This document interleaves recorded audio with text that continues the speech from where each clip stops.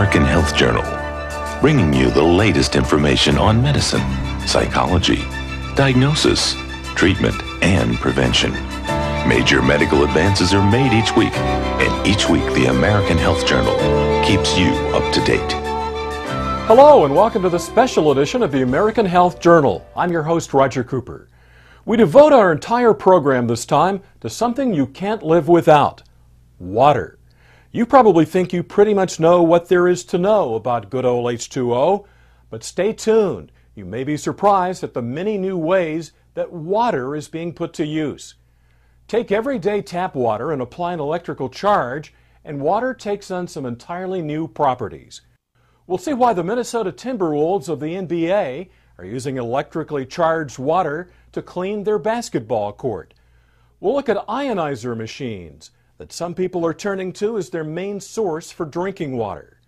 We'll take you to the Andes Mountains of southern Ecuador to find the source of natural water that's said to have special qualities, a place where many live to be a hundred. All of this next on this special water edition of the American Health Journal. Although it's been used in Asia for more than 30 years, we're just beginning to hear about applications for ionized water in this country. So, what is this altered form of water? We get an explanation from Jay Hare. I grew up thinking water was water was water, and I've always been a big water drinker, and uh, we're really creating a new paradigm for water. You know, you, you tell people we can produce a water that sterilizes. How, how is that? How can you create that? Um, we alter the water primarily in two ways at a, at a fundamental scientific level, and th- those are both measurable. We alter the pH, we raise or lower that, and we can raise or lower the electrical properties in the water. And that creates a very um, powerful change in the water that we can demonstrate in a variety of ways it's a tough thing to do to tell people that you know you can you can kill a virus or a bacteria with just plain water. It's uh, it's equally mind bending to tell somebody that you can replace chemical surfactants and detergents. You can wash your clothes in uh, in just plain high alkaline water, no chemicals. The process through which we create the alteration in the water begins with filtration. So first we clean the water up of contaminants, the vast majority of contaminants, but we allow the, the naturally occurring mineral content to pass through, and that's crucial. Um, after we clean the water up, it, it goes into what's known as a water cell, which contains a series of electrodes and membranes. The electrodes get charged with opposite charges, so you have a positively charged electrode separated by a membrane and then a negatively charged electrode. And everything in the water cell then happens through polarity and attraction. And so this is the process of what we call ionic separation.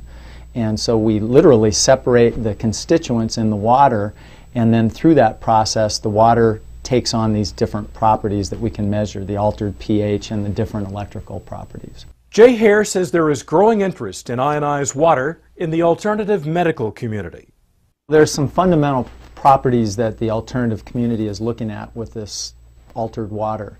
Um, it provides uh, a rich beneficial source of alkalizing minerals is, is one through the increased pH and condensing the alkaline minerals. Uh, it provides a very strong measurable antioxidant potential. Uh, it helps increase hydration through the microclustering effect. Um, and it helps, uh, the increased hydration actually helps detoxify the cells at a cellular level from metabolic waste much more effectively. What we're seeing, the, the forward thinking and more alternative minded uh, MDs and practitioners and naturopaths are starting to really take a hard look at this because it's, it's being brought into uh, the healing community by a grassroots movement of people who are drinking the water and getting results. You know, we're not here to dispense medical advice or, or make claims. Um, if you're sick, see your doctor, and uh, if you think the water will help, give it a try, and I'm pretty confident you'll, you'll know the results. When we come back, what is it about the water in this remote region of Ecuador? where many live to be 100. And a little later, the Minnesota company that's using electrically charged water to clean floors without chemicals. Stay with us. Is there something special about the water in South Ecuador? Jay Hare went on a journey to find out. There are cultures around the world that have been studied because of their particular specific absence of chronic degenerative diseases and their propensity to live longer, healthier, vital, more vital lives. Um, some of those communities would be the Hunzas in Pakistan, the Vilcabambans in Ecuador, uh, the, the Georgians up in the, the former Soviet Union. Um, and when, the, when WHO funded some research around that, what they determined was that one of the consistent um, influences in those cultures was their, the fact that they had all been drinking higher pH alkaline waters. Because of the, the long-standing wisdom that there were these special waters around the world, but uh, we wanted to actually go down and, and document um, one of these that we had heard of in, in Ecuador. And so we had the good fortune last fall to travel down to the Andes Mountains to a small valley uh, in South Ecuador and actually not only test the water for uh, the natural, naturally occurring properties of alkalinity and, and low electrical energy, this, the alkalinity is coming up. It's the most unusual water ever. We got to actually interview uh, a couple of the what we called ancients, uh, a 105-year-old woman and a 108-year-old man and another 100-year-old woman. And so um, that was fascinating. Maria Luisa Medina, 105 years old. And she's very healthy. She has never been to the hospital. What we learned down there was kind of surprising. I came away personally feeling like we make health way too complex in the United States. The Vilcabambans are a community of people who live these healthy lifestyles because they're doing very, very simple things naturally without thinking about it. They're drinking great water, they're eating great food that's grown locally and fresh, they are living a lifestyle that doesn't have a lot of stress. And so we found that, that those simple secrets, we thought that was why these people lived to be so old and so vital and so alive. If that water's so great, why, why can't we just bottle it and take it to the rest of the world? Uh, well, there are a couple of reasons. Some of those properties are not stable in the water, uh, particularly the electrical alteration. And so um, while they are bottling the water in Vilcabamba, um, it's much more powerful to recreate those properties fresh, which is actually what our technology does. A, an ionizer actually recreates the properties of the water that we found in Ecuador in the water that comes right from your tap. When we come back, some impressions from people who've been drinking ionized water. You're watching the American Health Journal, the show that brings you the latest information on prevention, diagnosis, treatment, and research from doctors right here in Southern California. Watch the American Health Journal each week on KOCE. With a home machine that attaches to the kitchen faucet, it's possible to make ionized water your source of drinking water. Jay Hare has used one for five years now. Well, I'm an athlete and hydration's always been important to me. Uh, I think as a, as an athlete, um, you're always looking for ways to increase your performance, and I've tried everything. And the water was one of the few things that actually delivered an immediate and noticeable impact in, in my body. Um, because of the, the alkalizing effect, um, a, a base will neutralize an acid. When we exercise, we produce lactic acid. So um, my muscle soreness decreased uh, markedly. Um, my level of hydration increased at the same time, so that for the first time in 15 years, I wasn't constantly thirsty. And um, I think overall, my recovery time and vis-a-vis my performance improved, which you know probably in the order of 30 to 50 percent, somewhere in that neighborhood. It's hard to hard to quantify exactly, but as as an athlete, that's incredibly significant. Canadian Ross Anderson shares that passion for ionized alkaline water. He's been drinking it since the mid 90s. Quite immediately upon getting an ionizer, I noticed a dramatic shift in my hydration levels, um, my health levels, uh, my energy, my stamina clarity of mind, a number of things improved dramatically. Well, having been around the industry for five years and speaking to literally thousands of people who have drank the water, there's no question in my mind it produces results in the human body. No question. Um, and there is absolutely a tendency for people in that type of an environment with that type of product that produces very predictable and consistent results to overhype.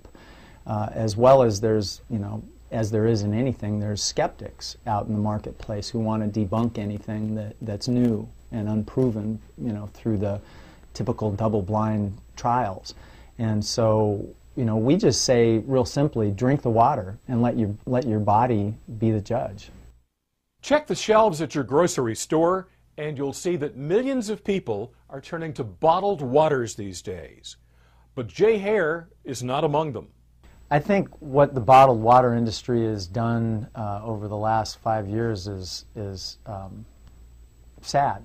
They've taken our, our tap water, for the most part, municipal tap water, and purified it so they've removed all of the naturally occurring minerals that's been in the water that mankind has been drinking since the dawn of time.